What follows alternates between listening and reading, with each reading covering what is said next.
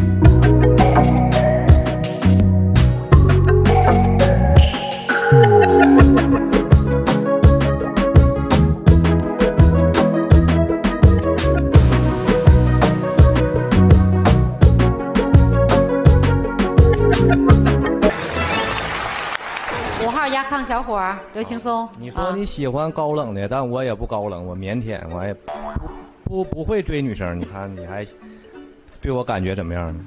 你有多腼腆啊？